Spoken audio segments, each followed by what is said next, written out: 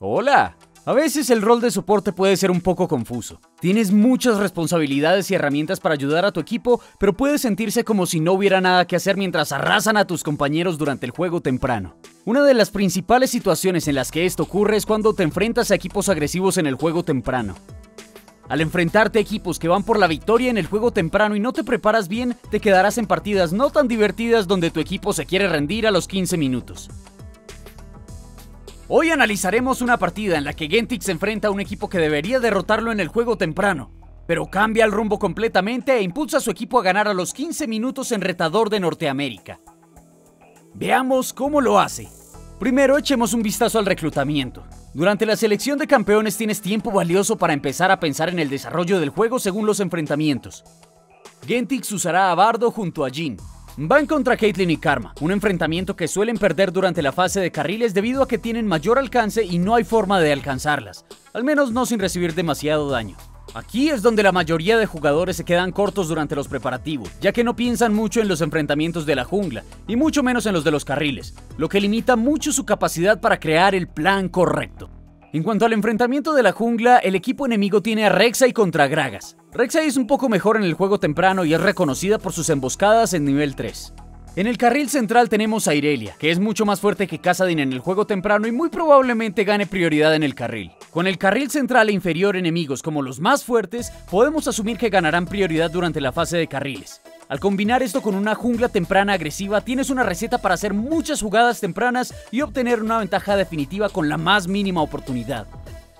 Respecto al carril superior, Pantheon tiene ventaja, pero importa poco debido a que se encuentra muy lejos del lado inferior del mapa. Teniendo esto en cuenta, Gentix como bardo elegirá sus runas y hechizos de invocador de forma defensiva. En esta partida elige Guardián. Guardián actualmente es la runa más usada para bardo, es posible usarla en muchos soportes cuando te enfrentas a composiciones agresivas en el juego temprano. Puedes usarla con Yana, Lulu, Thresh, Morgana, Zona, Soraka y básicamente cualquier campeón que no necesite otra runa para funcionar correctamente. Además, también lleva extenuación y no ignición, ya que su objetivo es jugar a la defensiva. La mentalidad que Gentix adoptará en esta partida será contrarrestar la agresión. ¡Comencemos! El carril empieza y Gentix hace su segunda adaptación a la partida. Empieza con la W de Bardo en nivel 1. Este es un gran consejo para Bardo, ya que te permite colocar tres altares de curación en tu torre, y cuando te hostiguen tú y tu tirador podrán curarse. Sin embargo, no es un concepto específico de Bardo. Muchos soportes pueden iniciar diferentes habilidades al nivel 1 para jugar de forma más defensiva. Yana puede cambiar a su E en vez de W, alistar W en vez de Q para alejar enemigos, Morgana su E en vez de Q, o Zona su W en vez de su Q. Adaptar el orden de tus habilidades en los niveles tempranos pueden dar enormes resultados más tarde. Sigamos viendo. En general, Gentix trabaja en su plan de juego. No avanza de forma agresiva y solo intenta asestar últimos golpes para obtener oro. Jin recibió un poco de daño al tratar de empujar la primera oleada, pero afortunadamente, Gentix ya tenía esos tres altares colocados desde el inicio, así que pudo recuperarse. Conforme Karma y Caitlyn avanzan agresivamente, Gentix solo retrocede con cuidado, incluso si eso significa que su Jin pelee solo. Esto es porque no quiere forzar un 2 contra 2 de forma directa.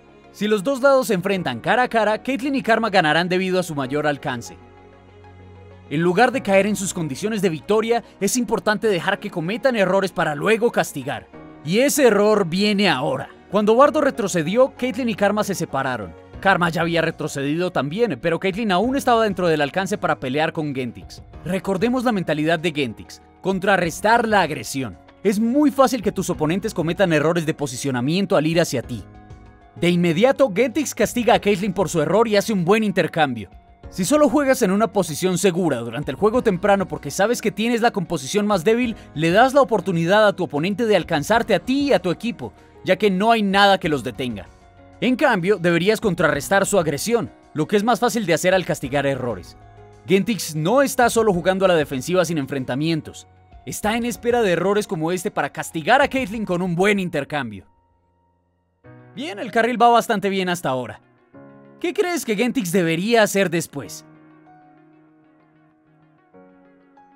Sin duda, colocar centinelas es la respuesta correcta. Recuerda que el junglero enemigo es Rek'Sai, una notable emboscadora al nivel 3.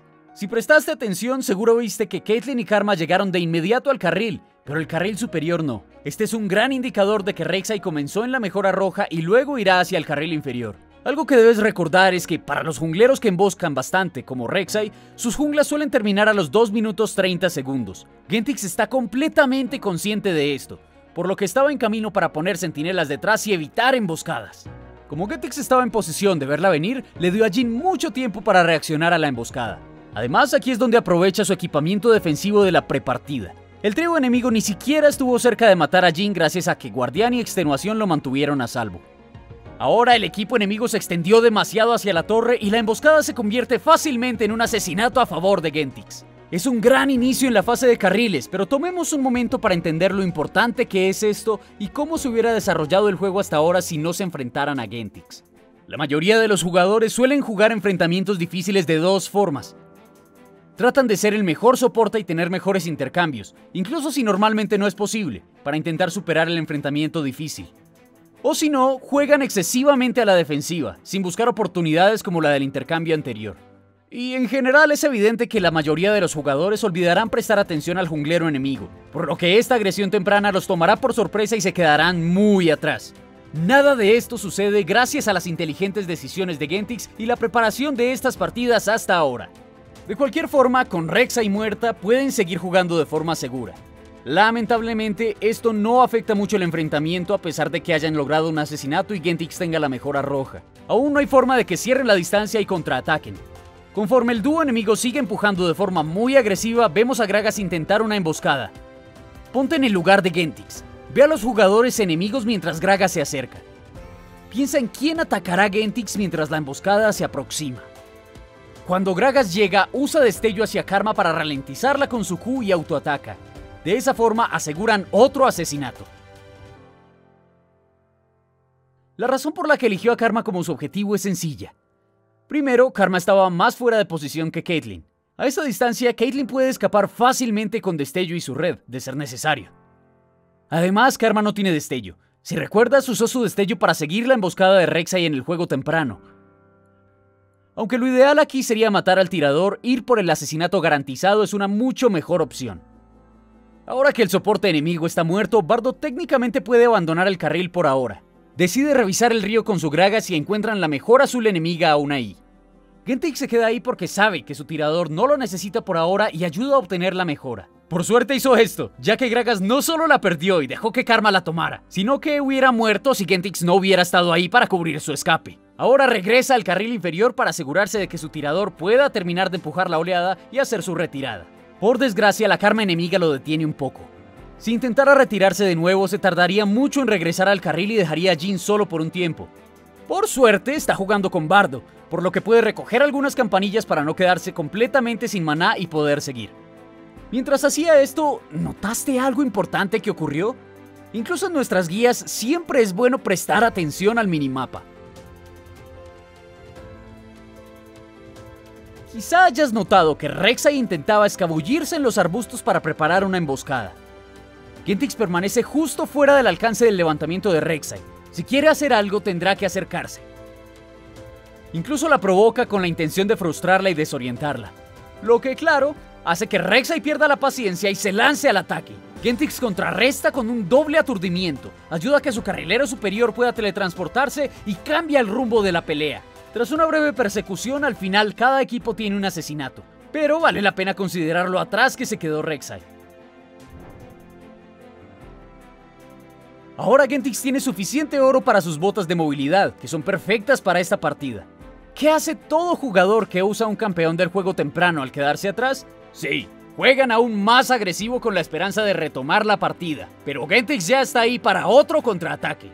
Bien, ya abordamos mucho sobre la forma en la que Gentix pudo cambiar el rumbo y ganar en 15 minutos a pesar de tener la composición más débil para el juego temprano. Pero queremos resaltar la mentalidad que le permitió lograr esto de forma tan clara que probablemente querrás adoptarla para tus propias partidas. Primero, Gentix incapacitó a tres campeones fuertes del juego temprano, Rek'Sai, Caitlyn y Karma.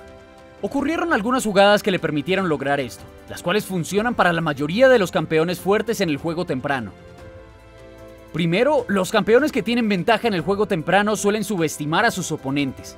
Saben que son más fuertes y pueden ganar en el juego temprano, así que intentan ser proactivos para lograrlo. Si intentas y entiendes que a veces no se puede combatir el fuego con fuego, puedes jugar más a la defensiva, como vimos hacerlo a Gentix. Pero sin duda, él pudo identificar cuando sus oponentes se equivocaban y se volvían demasiado agresivos, siempre listos para cambiar el rumbo de la partida y castigarlos. Después, considera que los jugadores a menudo se sentirán presionados para ganar en el juego temprano. Como Rek'Sai, debes hacer que todo ocurra en el juego temprano. Si no, seguro te volverás menos útil que Gragas conforme progresa la partida. Automáticamente esto hace a Rek'Sai predecible y más propensa a forzar jugadas. Por último, queremos destacar que la lección no debería ser jugar a la defensiva en exceso al identificar que tú eres más débil en el juego temprano. Tu mentalidad debería ser a la defensiva, pero con el objetivo de forzar errores y castigar en lugar de agredir. Gentix llevó este estilo de juego al límite, si se hubiera sentado en su torre prácticamente inactivo, los habrían hostigado, atacado bajo torre y más. Soportó la presión enemiga y los castigó en el proceso. Bien, eso es todo por ahora. Recuerda que puedes ver a Gentix en la LLA todos los fines de semana. Gracias por acompañarnos. Nos vemos en el próximo video.